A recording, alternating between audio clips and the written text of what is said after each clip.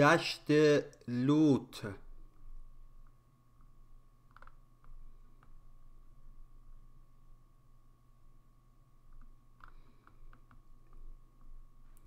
دشت لوت دشتی بیابانی در منطقه جنوب شرقی ایران می باشد.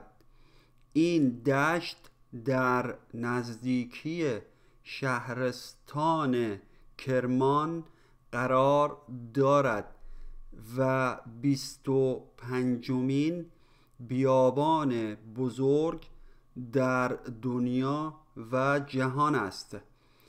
هسته آن در چند سال گرمترین نقطه بر سطح کره زمین شناخته شده است که بیشترین آن در سال 2005 ثبت گردیده است.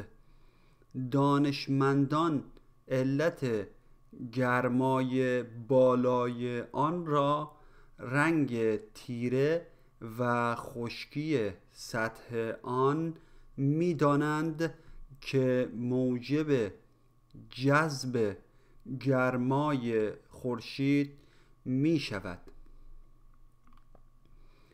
دشت لوت یکی از شگفت انگیزترین عوارض بیابانی دنیا می باشد برخی از جاذبه های آن عبارتند بزرگترین شهر کلوخی جهان.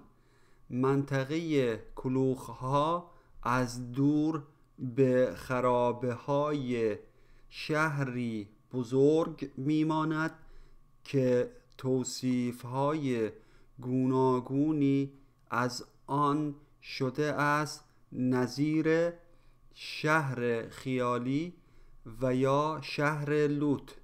مرتفع ترین هرم های ماسعی دنیا در لوط است.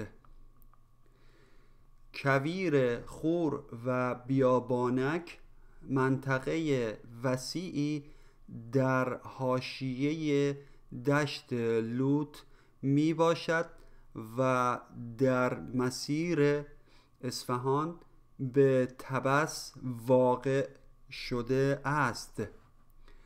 در تابستانها با خشک شدن آب منظره زیبایی از نمک ها درست می شود که شبیه قطب شمال و منطقه برفی را به نمایش می‌گذارد. کلمات کلیدی مترادف فارسی مترادف انگلیسی ثبت کردن نوشتن مستند کردن جذب کردن جلب کردن عوارض پیامد. کلوخ. گل خشک. توصیف کردن.